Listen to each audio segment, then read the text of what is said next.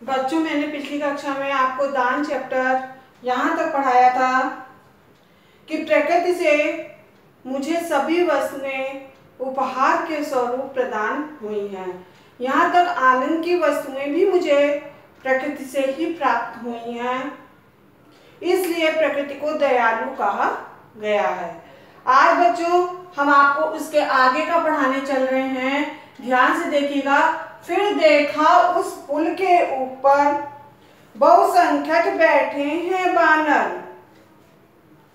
एक और पंथ के कृष्णकाय कंकाल शेष नर मृत्यु प्राय। बैठा से शरीर दैन्य दुर्बल भिक्षा को उठी दृष्टि निश्चल। अति क्षीण कंठ है तीर श्वास जीता जो जीवन से उदास। डोता जो वह कौन सा शाप, भोगता कठिन कौन सा पाप? बच्चों, सबसे पहले आप संदर्भ लिखोगे। इसका संदर्भ पहले की तरह है। जैसा कि मैंने आपको पिछली कक्षा में बताया है, पूरे का संदर्भ एक ही रहता है। ये बात बार बार हम आपको बता रहे हैं।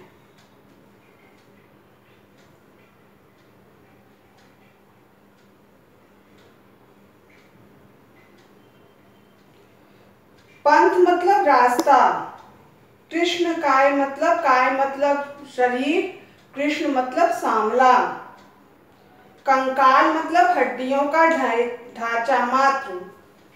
नर मतलब मनुष्य। दैन्य मतलब दीनता। छीण मतलब कमज़ोर। कंठ मतलब गला।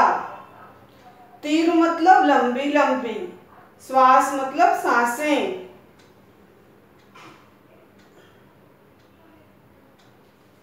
फिर बच्चों, आप प्रसंग लिखते हो तो इसका प्रसंग है, दान करने वाले व्यक्तियों की कथा का वर्णन किया गया है।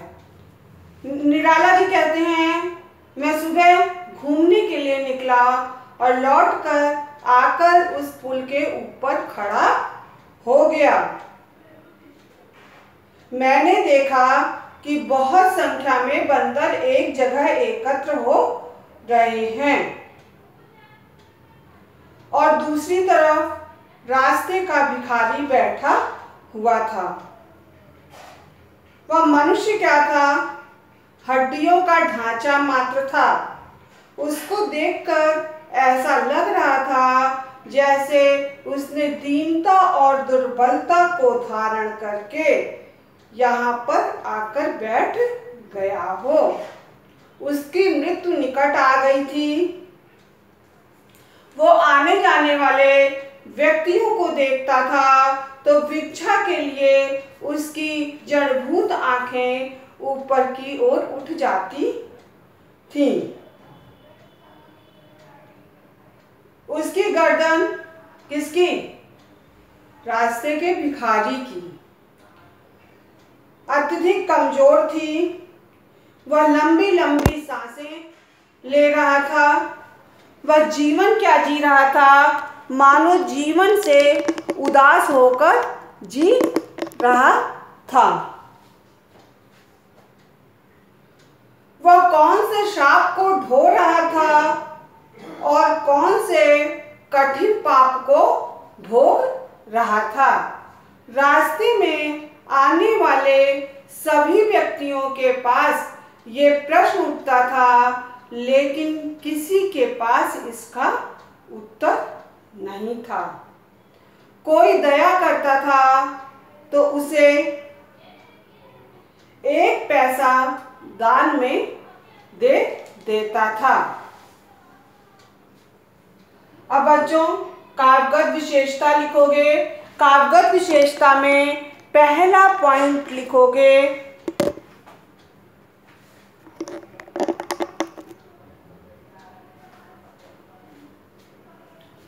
पहले पॉइंट में लिखोगे, मानव की दयालुता। उसके धार्मिक स्वरूप एवं समाज की विसंगतियों का हृदयग्राही चित्रण किया गया है। रस, करुण रस है। जैसा कि आपको दिखाई दे रहा है कि लोग दुखी हैं भिखारी अत्यधिक कष्ट में हैं। प्रश्नवाचक भी है बच्चों। प्रश्नवाचक अलंकार है।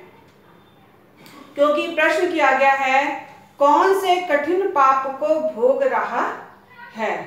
अनुप्रास अलंकार है, उत्प्रेक्षा अलंकार है, मानो सशरीर दैन्य, दुर्बल व दीनता को धारण करके आकर बैठ गया हो।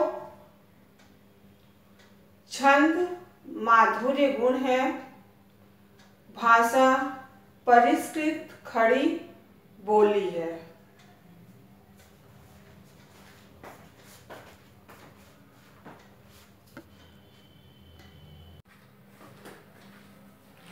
बच्चों, जब वे जीवन से निराश हो गए थे उस भिखारी को देखकर, तब उन्हें नीचे की ओर देखा और उन्हें आशा का संचार हुआ। उसका वर्णन करते हुए आगे कवि क्या कहते हैं, देखिए।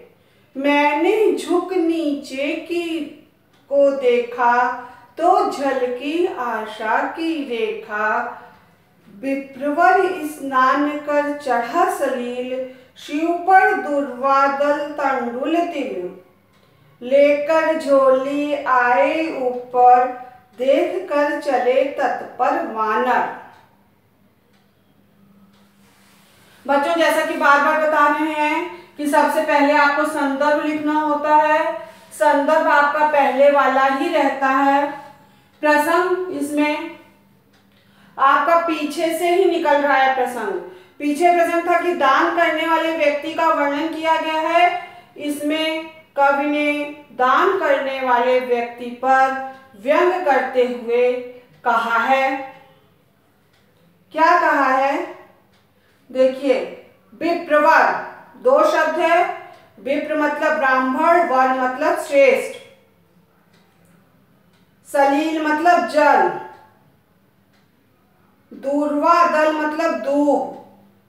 तंडुल मतलब चावल। कब कहते हैं? मैंने झुककर नीचे की ओर देखा तो मैं जो भिखारी को देखकर जीवन से निराश हो गया था तो मुझे जीवन से आशा की एक रेखा दिखाई दी, जो मेरा जीवन अंधकार में था, उसमें प्रकाश दिखाई दिया। मैंने क्या देखा? एक ब्राह्मण स्नान करके शिव जी पर धूप तांडुल जल, चावल, तिल चढ़ाकर अपनी झोली को संभाले हुए ऊपर चले आ रहे थे। उनकी झोली को देखकर बड़ी मुस्तैदी से, बड़ी प्रसन्नता से बंदर उधर चले आ रहे थे द्विज राम भक्त भक्त की आस, बढ़ते शिव को बरहो मास।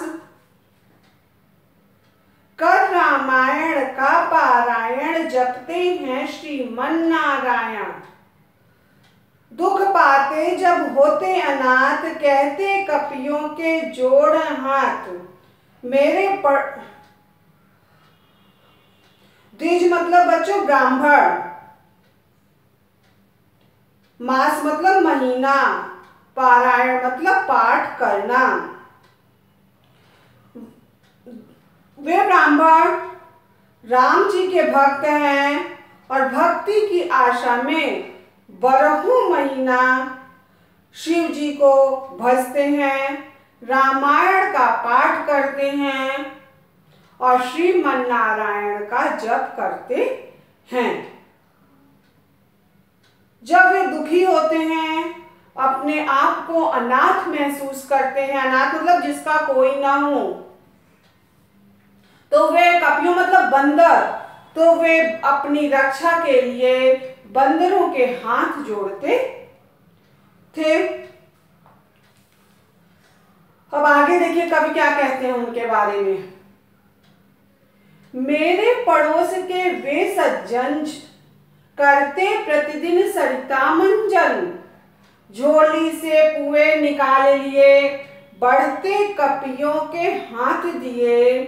देखा भी नहीं उधर फिरकर, जिस ओर रहा वह भिक्षु इतर। चिल्लाया किया दूर दानो बोला मैं धन्य श्रेष्ठ मानो। आगे कवि कहते हैं, सरिता मंजन मतलब नदी, कपियों मतलब बंदर भिक्षु मतलब भिखारी, इतर मतलब दूसरी तरफ़। वे मेरे पड़ोस के ही सज्जन हैं। मैं इन्हें भली भांति पहचानता हूँ, ये मेरे पड़ोस में ही रहते हैं।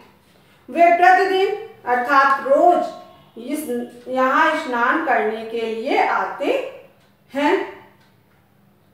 उन्होंने झोली से पुए निकाले। पुए मतलब मीठा पूड़ी जो मोटा मोटा बनता है। उन्होंने झोली से चीनी डाल के, झोली से पुए निकाल लिए और बंदरों के हाथ में दिए। और दूसरी तरफ़ जिधर भिखारी बैठा था उन्होंने देखा भी नहीं। जब उसने चिल्लाया तो उन्होंने दानों कहकर झिझकार दिया। इस प्रकार मानव की उपेक्षा को देखते हुए और उसकी दानशीलता को देखते हुए मेरे मुँह से अनायास ही निकल आया कि, हे मनुष्य, तुम न श्रेष्ठ हो और न धन्य हो, क्योंकि तुम मनुष्य होते हुए मनुष्य की परेशानी को नहीं समझते हो, इसलिए तुम ना तो श्रेष्ठ हो और ना ही धन्य हो। बच्चों, अब आप काव्यगत विशेषता में लिखोगे। पहले पॉइंट में, समाज का जिस प्रकार का दिखाई दे रहा है, उसका कवि ने मर्म स्पर्शी वर्णन किया है। और दूसरे पॉइंट में मानव प्रेम को अभिव्यक्त किया गया है, प्रकट किया गया है। रस, करुण रस है। भाषा, परिमार्जित, खड़ी बोली है। छंद, कवित्व है। क्योंकि सब कवि, कविता की तरह कहा गया है। और उत्प्रेक्षा, अलंकार, आप जानते हो, जहाँ पे मनु मानो जनु, जानो आता है, वहाँ पे उत्प्रेक्षा होता है। अनुप्रास, अलंकार है।